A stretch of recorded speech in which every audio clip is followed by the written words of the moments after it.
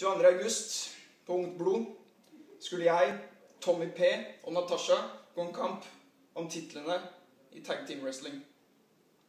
Det ble det ikke noe av, fordi Garm Støylen, den styggeste drittsekken i en WF, angrep meg bakfra mens jeg sto og trente. Så Garm, som hevn, har jeg mast meg til en kamp mot deg. Den gir meg ingenting annet enn glede av å banke dritten ut av deg.